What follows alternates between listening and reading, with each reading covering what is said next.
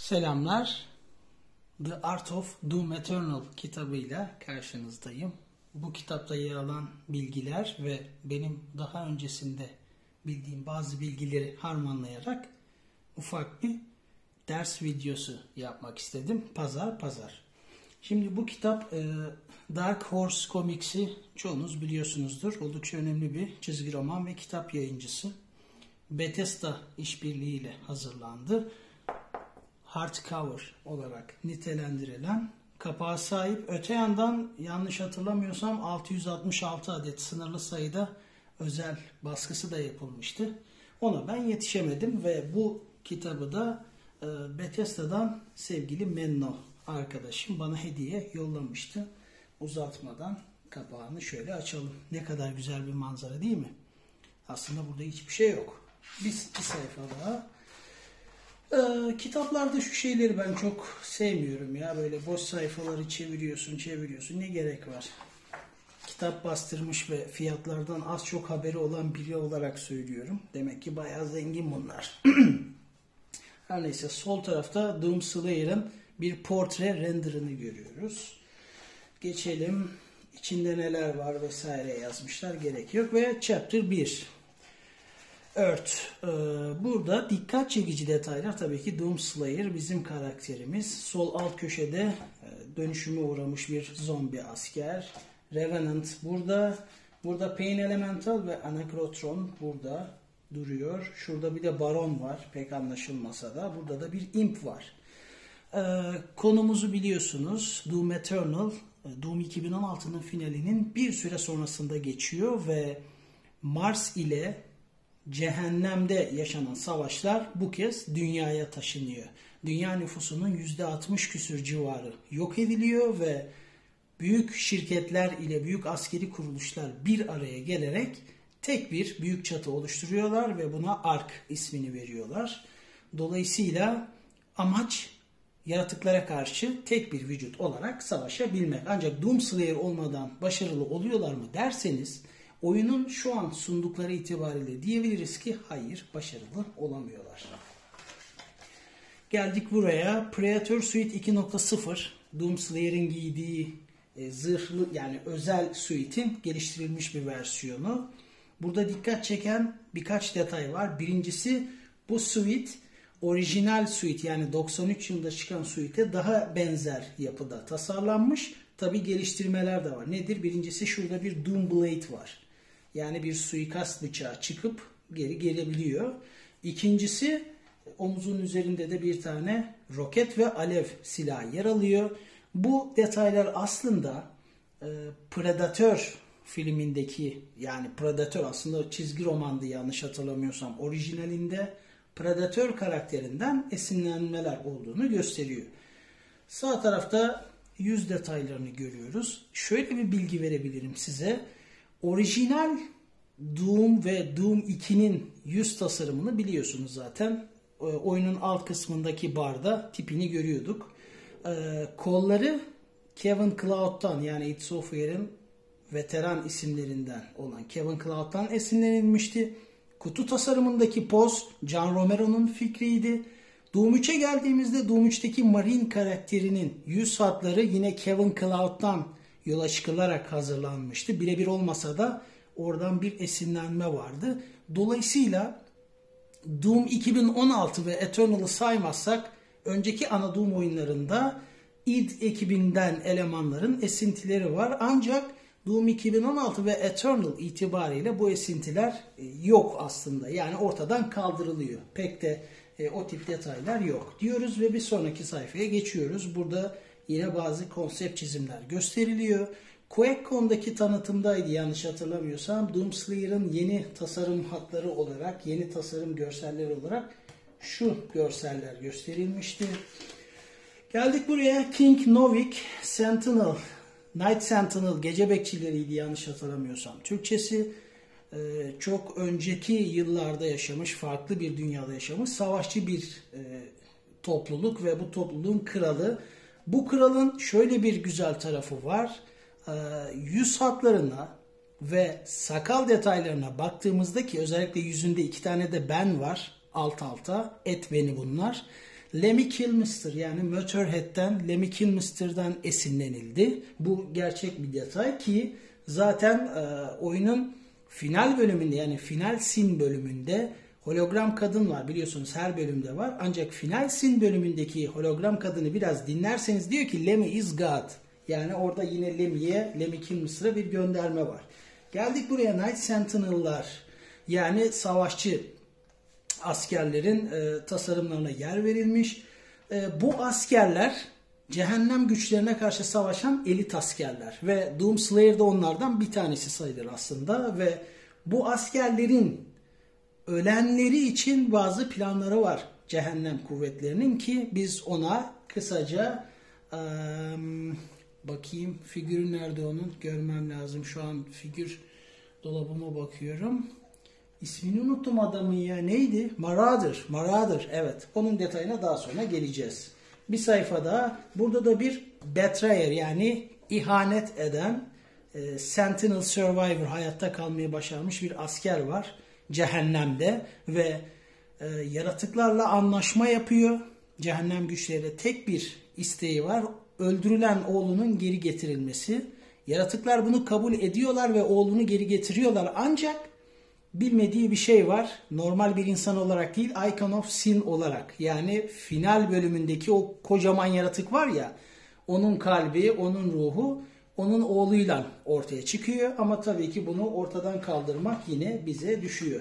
Tabii hem bu karakterin hem de Kral Novik'in daha fazla detayını sonraki oyunlarda görür müyüz? Bakacağız, göreceğiz. Chapter 2 From Hell. Yine burada Doomslayer Marauder'la kapışıyor ve Marauder'ın elindeki balta özel bir balta. Şu kullanılan enerji Argent enerjisinin bir e, karışım bir şeyiydi. Şu an tam hatırlayamıyorum. Ve tabi o enerjinin kaynağından biz de kendi Dumble e, kılıcımızı yapıyorduk. Crucible kılıcı tek vuruşta hemen her yaratığı ortadan kaldırıyordu.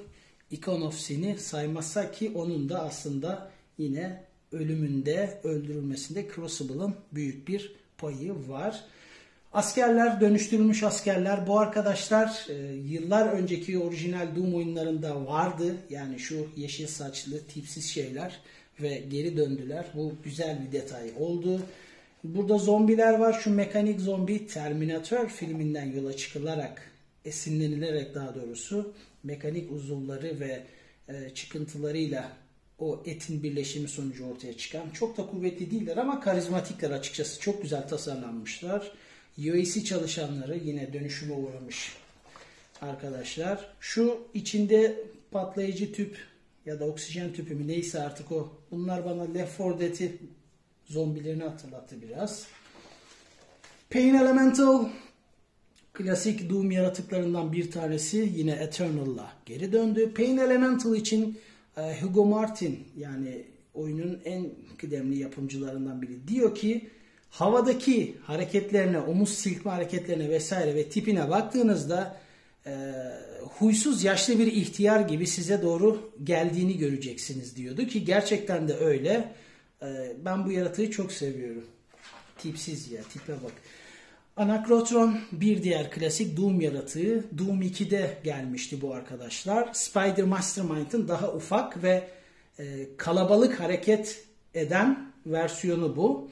E, dolayısıyla Doom 2'de büyük haritalar vardı ve büyük haritalarda daha fazla düşman faktörü için Spider Mastermind'ın daha ufak boyutlarında anakrotronlar yapıldı ama bunların bir farkı var. Spider Mastermind biliyorsunuz bir taneydi. Burada ise aynı anda birkaç tane anakrotron toplaşıp saldırıp güçlü bir ateş hattı oluşturabiliyorlar. Bu yeni oyundaki e, ciddi fark ise bir akrep gibi, örümcek değil de akrep gibi üstünde bir kıskaç var ve bu kıskaç daha doğrusu bir e, ateş gücü, onun ana ateş gücünü oluşturuyor ve gerek Revenant'ta, gerek Mancubus'ta, gerek Anakrotron'da onlara saldırmadan evvel yani saldırırken yüzüne ya da göğsüne vesaire değil de ana ateş kaynaklarına silahla bir iki ateş ettiğimizde onları devre dışı bırakıp güçlerini neredeyse yarı yarıya azaltabiliyoruz. Bunu tekrar söylüyorum ve Ershwile bir diğer efsane Doom karakteri. Bu arkadaşımız pek çok yaratığı ortaya çıkarıp diriltebiliyor ve yeni bir yaratık e, gücü oluşturabiliyor. Dolayısıyla ölen yaratıkları geri getirmemesi için ölmesi gerekiyor. Ama çok da kolay değil. Bir daha çevirdik. Karkas yine bu arkadaş bana Terminatör'ü hatırlatıyor az buçuk. Zira yarı mekanik ve sahilinde tüfekleri var. Önceki e, tasarımları yine bana Left 4 Dead'i e, hanım, anımsatmadı değil. Yani benim zihnimde öyle canlandı ama bu son tasarım gerçekten çok güzel. Sanki böyle çok gelişmiş bir kötü, kötücül bebek gibi. Öyle diyeyim tipi ifadesi. Ve Mancubus. Evet bir diğer klasik. Mancubus'u Gregor Punchas tasarlamıştı. Efsane karakterlerden bir tanesi. Ve bu karakterin oyunda bir de siber yani Cyber Mancubus versiyonu var. Onu buraya saklamışlar. Cyber Mancubus toksitli ateşler de yapabiliyor ve onu öldürmek için önce zırhını parçalamanız gerekiyor. Üstteki daha kolay. Um, geldik Whiplash. Bu dişi bir yaratık. Hugo Martin oyun e, Doom serisinde hazırladığımız ilk dişi karakter bu demişti ama yanlış. Bu değil. Bundan önce e, yeni ekibin e, hazırladığı karakterlere baktığımızda e, Archvile'ı andıran bir karakter daha vardı Doom 2016'da. Um, şu an ismini hatırlayamıyorum ama benzer saldırı tiplerindeydi. O da o, o da bir dişi karakterdi. Ee, Tabi eski ekibin yaptıklarını saymıyorum. Örneğin e, Spider Mastermind erkek ama e, Doom 2'nin yanlış hatırlamıyorsam e, Read Me dokümanında Spider Mastermind bir anne oldu ve şimdi anakrotronları ortaya çıkararak cehennemde yeni bir savaşı başlattı gibi detaylarda yazıyordu. Bunlara çok da takılmamak lazım. Bu arkadaş da God of War serisindeki o e, yılan görünümlü e, arkadaşlar vardı yani böyle um, hangi tanrı şeyiydi onu da hatırlayamıyorum da böyle gözüne baktığınızda sizi taşa çevirebiliyordu. Tabi burada öyle bir şey yok ama benzer e, benzer şeyleri var yani. Benzer kötülük tarzları var. Ve geldik Revenant. Doom 2016'da e, bu arkadaş e, kapak yıldızıydı ve oradaki tasarımı şimdikine kıyasla bence daha güzeldi ama bu yeni oyundaki tasarım orijinal Revenant'lara biraz daha yakında olmuş. Onu da söylemek lazım ve dediğimiz gibi bu arkadaşa saldırı saldırmak istiyorsanız şu roketler var ya önce bunlara özellikle mesela otomatik tüfeğinizi dürbün modundayken tek vuruşla tek vuruşla yani iki atışta ikisini birden götürebilirsiniz. Gargoyle bunlar da bana Painkiller'ı hatırlat. Yani daha bir gotik, daha bir dark, daha karanlık, daha e, ne bileyim Nosferatu tipi şeyler. Ama güçlü mü değil yani bir vuruşta gidiyor bu da. Kanatlı bir şeytan. Gerek var mıydı? Yani gerek olmadığı için öldürüyoruz. Gladiator Baron of Hell tasarımına benzi çok benziyor orijinal. Hatta ilk Doom ve Doom 2, Final Doom, Ultimate Doom'daki e, harita tasarımlarında bazen duvarlarda şu yüz ifadesine benzer e, tasarımlar da vardı. E, Gladiator e, bir boss olarak karşımıza çıkıyor ve e, bunu öldürmekle e, Marauder'ı öldürmek aslında aynı mantık. Ne zaman yeşil gözler yanar yani tam bana saldırmaya hazırsın ifadesini size verir. O zaman saldırabiliyorsunuz. Bir de kalkanı var ve bu kalkan e, kanlı canlı bir kalkan aslında ve bana Evil Dead'deki e, Book of Death Necronomicon'u hatırlatmadı desem yalan olur. Güzel bir arkadaşımız. Doom Hunter e, yine yarı makine ve yarı demon şeytanlı bir şey. Bu arkadaşta Quake'de benzer şeyler vardı. Ee, yine Doom 3'te Sarge vardı boss. Ona benzettim biraz. Tabi tamamen aynı değiller. Ee, ve bu arkadaşlar da dünyada, dünyamızda e, buzulların hakim olduğu bölgedeki gizli bir UAC tesisinde e, geçmişten kalan yaratık parçalarını değerlendirmek sebebiyle hani geri dönüşüm vardır ya yeniden güçlendirilip ortaya çıkarılan yaratıklar ve amaçları Doomslayer'ı yakalayabilmek. Ah geldik buraya. Dread Knight var burada. Yine aslında Hell Knight'e biraz benziyorlar ama biraz daha mekanik aksamları vesaireleri var. Yine sağ tarafta Hell Knight. Hell Knight'ın bu tasarımı Doom 3'teki tasarımdan yola çıkılarak hazırlanan bir tasarım. Çok beğeniyorum. Yani çok karizmatik bir tasarım. Tyrant ya bu arkadaşa Tyrant diyorlar ama aslında bu orijinal Doom'lardaki Cyber Demon'ın günümüze aktarılmış bir versiyonu. Ee, daha güçlü olmasını beklerdim. Çok da güçlü değil bence. Daha güçlü ve daha büyük olsun isterdim. Daha heybetli. Öte yandan bacak tasarımlarını ben çok da beğenmedim. Özellikle şu e, sol bacak sanki bir kocaman sülük tipinde benzeri. Hani orijinaline yakın değil. Öte yandan bir de şurada bu ne böyle raptiye gibi acayip bir ayak yapmışlar. Hani çok da şuralarını beğenmedim ama tabi e, Cyber Demon'ı tekrar e, görmek güzel. Çeviriyoruz. Hell Priest'ler. Üç tane e, Hell Priest var. Yani e, artık bunlara ne diyelim? E, cehennem rahipleri. Üç tane. Ve bunların üçünün amacı cehennem istilasını dünyaya taşıyabilmek. Dolayısıyla üçünü farklı yerlerde bulunuyor, saklanıyorlar, yönetiyorlar ve üçünü bulup öldürmemiz gerekiyor. Çünkü cehennemdeki enerji dünya için önemli olduğu kadar cehennem güçleri için de dünya o kadar önemli. Yani herkes birbirinin kuyusunu kazmaya çalışıyor. Hell Reality ya bu acayip bu yaratık sayılmaz ha. Bu da bu da bana Blade'i hatırlatıyor. Blade'de çok şişko bir şey vardı. Vampir vardı. Böyle şey gibiydi. Çağrı merkezi elemanı gibi bir yerde duruyordu ve tabi Wesley Snipes abimiz onu öldürüyordu. O, onu hatırlatıyor bana. Geçelim. Icon of Sin orijinal tasarımdan yola çıkılarak hazırlanmış ki oyunda öncelikle zırhlı olarak geliyor. Önce zırhını parçalıyoruz sonra kendisini. Icon of Sin Sandy Peterson'ın Doom 2'ye eklediği bir boss idi. Sadece duvarda yer alıyordu çünkü çok vakit olmadığı için 3D ya da 2.5D diyeyim tasarım yapmaya vakit yoktu. Bu da ortaçağ tapınak şövalyelerinin tapındığı Baphomet'ti galiba. Oradan yola çıkılarak hazırlanan bir karakter ki Icon of Sin Doom 2'de e, gizli boss olarak da John Romero'nun kafasıydı aynı zamanda. E, tabi geri dönmesi güzel ama ben isterdim ki Doom 2'deki o 2.5D olarak yani hareketli olarak yapılamamış boss dövüşü burada yapılsın. Yani e, mekanlar değişsin, daha e, aksiyon düzeyi yüksek olsun ama yine de güzeldi yani final. Geldik buraya.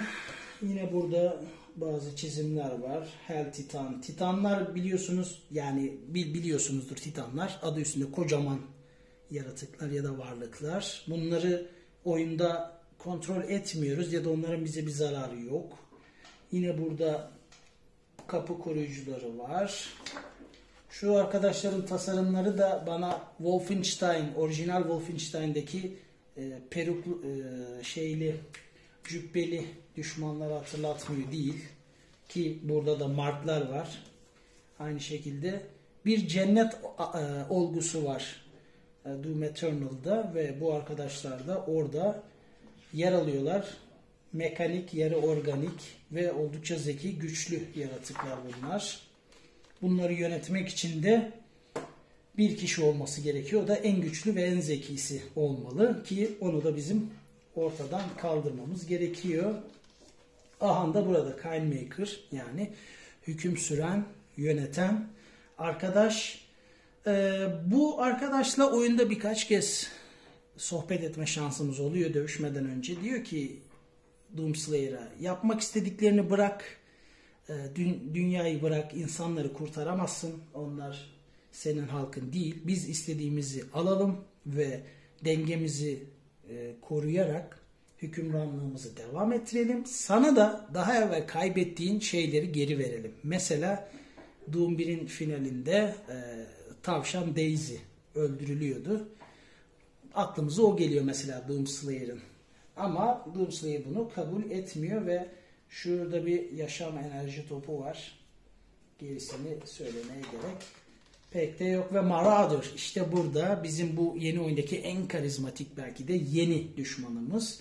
Pompalı tüfeği var, baltası var, e, sadece gözleri yeşil yandığı an çok kısa bir süre 1-2 saniye ateş edip zarar verebiliyoruz ve bunu birkaç kez tekrarladığımızda onu öldürebiliyoruz. Eğer koruma halindeyken zırhını ateş edersek ona bir sonuç olmuyor ve zırhından ateşten oluşan bir köpek bize doğru saldırıya geçiyor. Onu da belirtelim. E, Marauder'la ilgili şöyle bir şey var. İki tane figürü yapıldı. Biri NECA e, pardon McFarlane Figures tarafından. Diğerinde Bethesda kendisi yaptı statü olarak. Ancak ikisinde de e, şey yok. Pompalı tüfek yok. Sadece balta var. Niye pompalı yok? O e, şey canımı sıkan bir detay. En azından McFarlane'de pompalı yok ama şeyde statüde de görmemiştim. Yoktu. Almaya şansım olmadı çünkü tükendi. Belki başka bir zaman bir yerde karşıma çıkar. Burada yine Marauder'ın diğer e, tasarım detayları ve yüzü var. Ve bu arkadaşlar Night Sentinel'larla öldürülen askerler vardı ya onların yani bu askerler aslında Doomslayer'ın eski omuz omuza savaştığı eski savaş arkadaşları ve yaratıklar tarafından ele geçirilip bir nevi yeniden programlanıp bu sefer Doomslayer'ı yok etmek üzere gönderilen arkadaşlar bunlar. Evet Chapter 3 Cursed Worlds lanet iyi bir şey değildir. Doom Eternal'ın en güzel taraflarından bir tanesi Doom 2'den sonra ana oyun olarak diyorum beni. E, ana oyun olarak söylüyorum bunu. Dünyada geçen en azından bir bölümü dünyada geçen ilk Doom oyunu ki zaten e, Bethesda'dan Pete Hines da Doom Eternal tanıtılmadan aylar evvel Hell on Earth E3'te olacak gibi bir e, söylemde bulunmuştu. Bu da akıllara yeni oyunun dünyada da geçebileceğini gösteriyordu. Bir nevi Doom Eternal bir nevi kısmi olarak Doom 2 Hell on Earth'ün yani 94'te çıkan oyunun daha e, gelişmiş bir remake'i de diyebiliriz. Yani öyle bir tanım da yapabiliriz. Hell on Earth zaten çoğu yerde bu ibare geçiyor. Burada yine tasarımlar vesaireler var. Ben aslında e, Eternal'da daha çok dünya e, görevi olsun isterdim ki mesela e, savaş başladığında henüz Doomslayer ortada yokken dünya nüfusunun %60'ı ortadan kaldırılıyor, büyük kısımlar istila ediliyor vesaire. Yani o ilk istila anlarını gösteren ve direnişin oluşturulduğu günleri artık ayları neyse gösteren detayları da bir video olarak, sinematik olarak görmek isterdim. Bunlar gösterilmedi ama belki daha sonra bir başlı başına bir oyun olarak da bunlar gösterilebilir. Fakat şurada da şöyle bir endişem var. Şahsen Um, diyorlardı ki It Software'dekiler biz e, bir film ya da sinematik detaylı bir oyun değil, gerçek eğlenceli bir oyun yapmak istiyoruz. Bunları göz önüne aldığımızda sinematik detaylı yeni bir Doom biraz çelişki olacaktır. Öte yandan Doom Eternal'daki Slayer Doom 2016'ya göre çok daha hızlı hareket edebilen ve çok tempolu oynanı sunabilen bir karakter. Şimdi bu karakteri alıp da yani bir kenara atıp direnişçileri başrole alacağımız sinematik bir oyun yapmak sinematikliğin yanında daha yavaş oyun mekaniği olacağından ötürü e, bazı oyuncuları da yine mutsuz edebilir ama ben mutlu olurum. İnşallah yaparlar. E, bu arada dünyadaki istila öncelikle Avrupa'daki bir ülkede başlıyor. Bu ülkenin neresi olduğu yazmıyor. Yine bakın burada istilanın başladığı, yaratık akının başladığı bölge, yaratık ya da canavar neyse bu, bunu öldürüyoruz zaten. Bunu öldürdükten sonra zaten yaratık akını büyük ölçüde ortadan kalkıyor. Evet. Yine burada çizimler, mizimler, UAC tesisleri, UAC yani Union Aerospace Corporation. Yine ARC. Evet geldik buraya. Samuel Hayden e, Mac'lerle yine geliştirilmiş askerleriyle ve bizden Doom 2016'nın finalinde aldığı Crucible kılıcıyla o kurulan direniş gücünü yöneten kişi olarak savaşa girişiyordu ancak başarılı olamıyorlardı. Bu mekler e, yani büyük robotlar oyunda tabii ki görünüyor ama kontrol edemiyoruz. Çünkü o savaş bitmiş, bozulmuşlar, bir şeyler olmuş vesaire. Sonra devreye biz giriyoruz artık. Mars yüzeyi, Phobos uydusu Doom evreni için geçmişte de önemli olan bir yerdi. Oralarda da geziyoruz. BFG 10.000 yani normalde 9.000 bunun taşınabilir olanı elle ama 10.000 olanı Mars'a koca bir delik açmaya bile yetecek kadar büyük. Ki burada da Onunla alakalı detayları görüyorsunuz. Mars yüzeyine yine gitmek gerçekten güzel ve Doom Eternal sadece Mars, cehennem ya da dünya değil bunun dışında farklı lokasyonlara gidilen ilk ana Doom oyunu aslında diyebiliriz.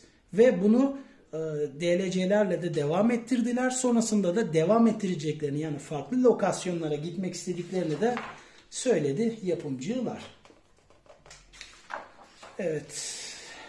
Devam ediyoruz. Burada Mars yüzeyine doğru gitmemize yardımcı olan minik aracımız. Mekler. Şu yeşil mekler özellikle bana hep Fallout'u hatırlatıyor. Geldik buraya Argent Dinor. Kutsal bir mekan. Önceki oyunda da çok bahsi geçiyordu. Devam ediyoruz. Tahtı şeyin King Novik'in tahtı. Şu şunu koleksiyonluk versiyonda ufak bir poster olarak veriyorlardı. Maker, King Novik burada. Yine diğer marklar burada yer alıyor. Yine şurada tasarımlar vesaireler. Yani bir dostluk anlaşması bir şeyler varmış ama bu anlaşmalar bir şekilde enerji kaynaklı, yönetme gücü, hırsı kaynaklı olarak bozulmuş. Burası e, Doom Slayer'ın kalesi aslında bir nevi uzayda yer alıyor ve burada hem silahlarıyla ilgilenebiliyor hem hobileriyle ilgilenebiliyor. Bilgisayarı bile var ki bilgisayarın ekranında da e, gerçek bir dünya resmi vardı. Bir sokak, bir cadde resmi vardı. Oyunun beta sürü, e, tam sürümünden önceki sürümünde vardı. Sonra kaldırdılar onu. Ben sormuştum burası neresi diye de söylememişlerdi. Belki bir gün açıklarlar. E, gladyatör arenasının dışı ki burada gladyatör yaratığıyla savaşıyoruz. Ah, şöyle gösterelim yine. Bakın size bahsettiğim o şey işte Icon of Sin'in konsepti yani Doom 2'deki o finale benzer konsept. İşte böyle bir savaş alanı oluşturulsaydı eğer Doom 2'ye de bir saygı niteliğinde ben çok daha mutlu olurdum şahsen. Anahtarlarımız var. Bu anahtarlarla arenaları açıp güçlü yaratıklarla kısa süreli mücadeleler veriyoruz. Geldik buraya yine Mac'lerimiz var. Yine farklı tasarımlar var. Slayer alakalı. İşte Doom Slayer'in kaldığı uzaydaki kalenin bir um, konsepti. Crucible kılıç orada duruyor. Urdak yani oyundaki cennet. Ben çok da beğenmedim açıkçası bu tasarımları. Daha farklı şeyler bekliyordum. Olsun. Yapmışlar. Yine burada koruyucular. Şu tırmanma pedleri oyunda pek çok yerde var. Doom Slayer artık bazı yerlere tırmanabiliyor. Burada cehennem um, rahiplerinden bir tanesine tapınıyorlar müritleri. Bu bölüm e, karlı bir bölümdü ve bu bölümde Revenant'la karşılaşıp pompalı tüfeğimizi çift başlıklı süper shotgun'ı alıyorduk ki e, onun geçmişten gelen bir hazine kıvamında olduğu ifade ediliyordu. Gerçekten de öyle. Bence oyundaki en güzel silah. Evet. İşte o, o Revenant'ı ilk gördüğümüz yer burası. Burada kontrol ediyoruz daha doğrusu Revenant'ı. Ve sonra da pompalı aldıktan sonra onu öldürüyoruz. Bayağı da tasarlamışlar yani. Hell. Cehennem şehirlerinin tasarlanması güzel düşünmüş bence. Gerçekten güzel tasarımlar var. ve biraz daha gidelim. Burada yine Cyber Demon geliyordu. Onunla kapışıyorduk. Zincirleri kırıyorduk. Böylelikle Icon of Sin'e biraz daha yaklaşıyorduk. Yine burada köpek benzeri garip garip tasarımlar var diyeceğim ama bunlar aslında şeyler.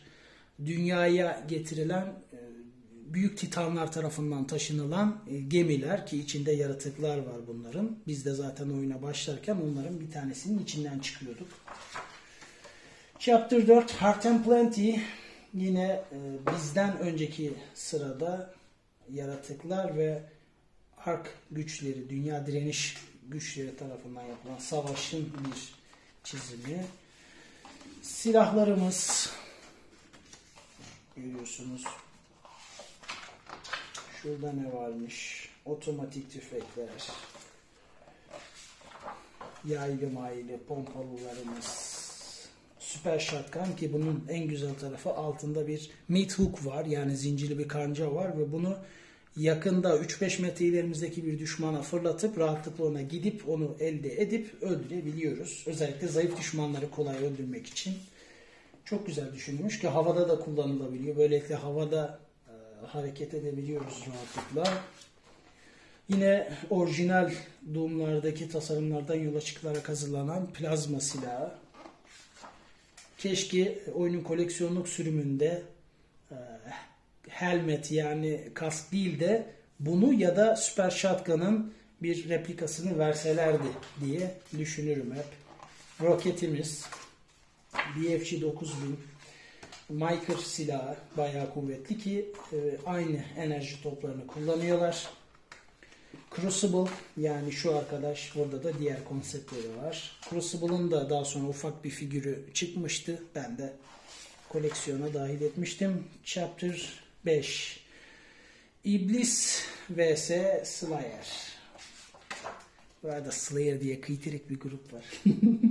Her neyse customize yani özelleştirilebilir karakter tarafı yeni oyundaki önemli bir detay. Bunu siz yapmıyorsunuz gerçi. E, aralıklarla gelen güncellemelerle e, zırh rengi ya da görünüşte farklılıklar yaşanabiliyor. Mesela Zombie Slayer gibi ki bunun bir büstü de yapılmıştı. Onu ben de almıştım koleksiyonumda var. Hmm, burada bunlar e, neydi? Sahne pis pis pis de diyebiliriz. Sahne de diyebiliriz. Özellikle Battle modda diğer kişilere kendimizi gösterebilmek adına değiştirilebiliyor tabii bunlar. Evet, sonlara doğru geliyor gibiyiz. Neler var burada? Yine Zombie Mancubus, yine Zombie Revenant, Marauder aynı şekilde. O, o yine Zombie Pain Elemental ki Pain Elemental'i kontrol ettiğimizde şöyle görünüyor. Ee, Doot, D, O, O, T yani öttürmekten yola çıkılarak trompetli Revenant bayağı popüler olmuştu ve Doom orijinal Doom'lardaki Revenant'a benzer bir skin hazırlandı daha sonra. Bunlar da collectible'lar, oyunda bulabildiğimiz ufak oyuncaklar ki bunları Bethesda şu an ufak tefek satışa sunmaya başladı bile. Tanesi 30 küsür dolar artık KDV. Bence pahalı. Hiçbirini almadım. Henüz. Ve o da faturaydı galiba. Evet, kitabımız böyle Raise Hell. 33 dakikadır beraberiz. Eğer 33 dakika sabredip bu videoyu izlediyseniz oyuna dair pek çok bilgi elde edilmişsinizdir diye düşünüyorum. İyi pazarlar.